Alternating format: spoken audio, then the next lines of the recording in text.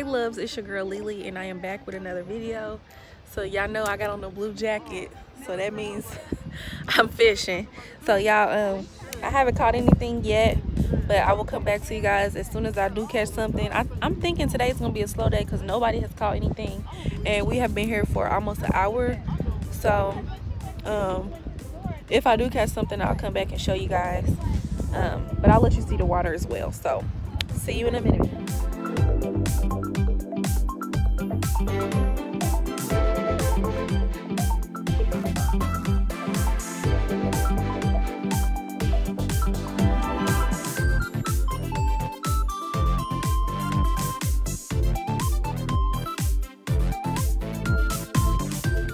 think my brother getting some, y'all.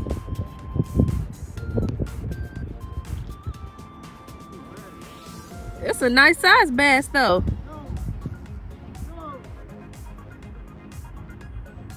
They ain't paying no attention.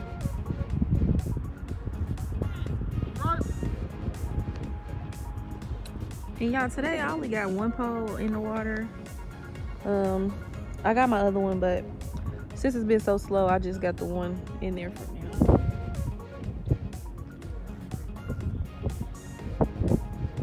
And I haven't caught nothing, by the way.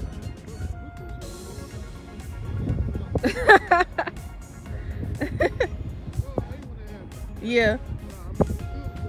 All right, you guys. So I'm gonna come back once your girl catch something. If I catch. Yeah, my brother caught another fish. Yeah. He is. You need your net? Wow, that's a big bass. Dang, Greg, you need to keep him. You need to keep him. Dude, that's the biggest striped bass I ever caught. Yeah, they be having some big ones. He's huge. Huge. You gonna keep him? Uh, I don't know. I might He him. worth keeping, Greg. Hell yeah. Y'all decided to put my other pole in the water.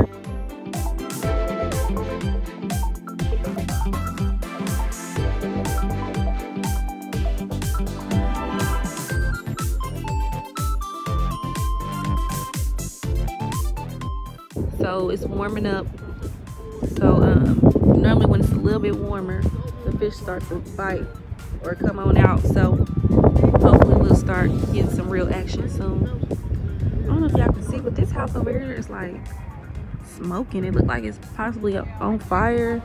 Or I don't know if they over there burning leaves and it's fogging because, I mean, it's, it's the smoke from the leaves or if they house is on fire. Yep.